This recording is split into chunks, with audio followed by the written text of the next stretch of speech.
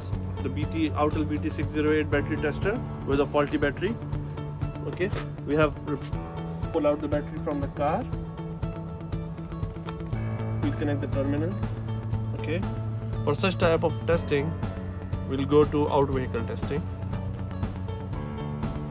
Okay, it's a 12 volt battery, AGM, and 450 cc. Start testing.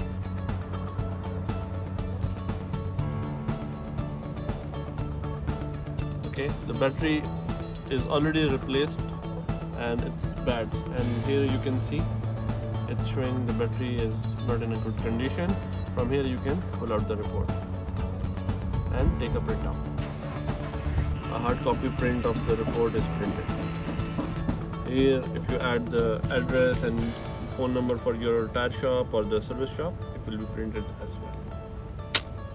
Now we're gonna test this in-vehicle test okay? For this one we have already connected the OBD uh, OBD connector that comes with the uh, BT608 to the car and the ignition is turned on. It has automatically selected the model the AGM the CCA for the car the amperes and then we'll connect next for this option, it's mandatory that the OBD connector is connected to the car and the ignition is turned on. In the first thing, we'll check the battery.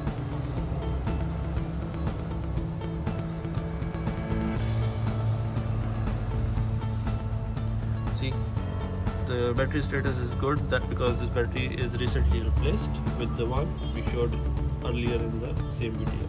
Now we'll uh, check the starter. Okay, for the starter, ensure engine is off and electric appliances is off. Then we just gonna click start testing and wait.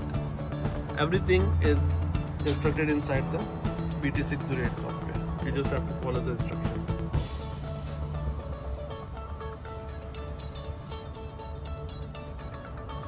now we're gonna start the engine